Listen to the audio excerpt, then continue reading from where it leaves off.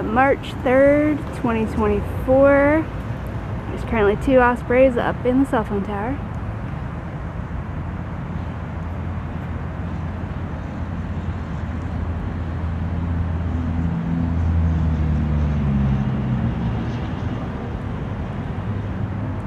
Possibly they're mating, I'm not sure.